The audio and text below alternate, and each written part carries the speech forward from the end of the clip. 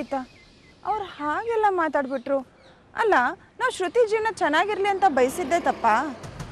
ನೀವು ಬಯಸಿದ ತಪ್ಪಲ್ಲ ಅತ್ತೆ. ನಾವು ಅವ್ರ ಮನೆಗೆ ಹೋಗಿದ್ದು.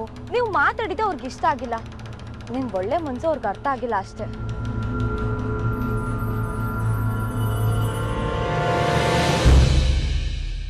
ದೇವ್ರೆ ಇವಳ ಮನಸ್ಸು ನನಗೇನು ಅರ್ಥನೇ ಆಗ್ತಿಲ್ವಲ್ಲ?